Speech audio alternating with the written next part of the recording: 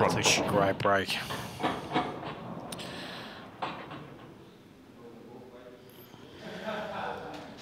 Hit them really well, and probably not the full reward for uh, the break that he maybe deserved. I thought it was going to be a really routine finish when he first broke them open, but it's not without a chance. It's just a, a line of reds there that are really awkward, and it's easy enough to develop one or two of them, but to develop them all could be tricky.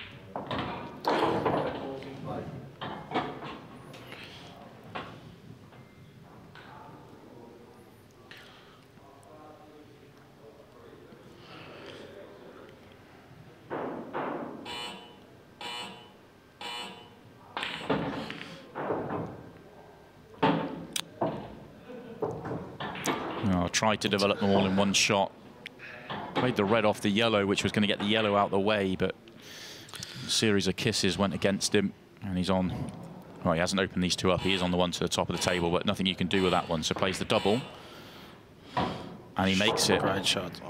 Great pot. Needs another one.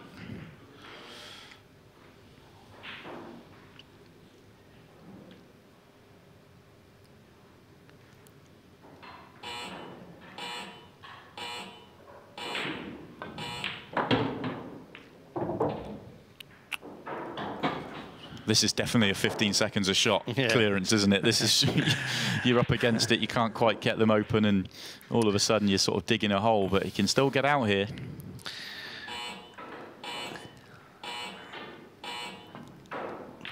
Another excellent pot, and this time the That's perfect, perfect. cue ball.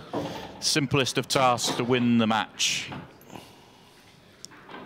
And Aaron Davies, he came in as a big favourite for this group, and he showed us why. Two very comfortable victories for the Ultimate Pool Professional.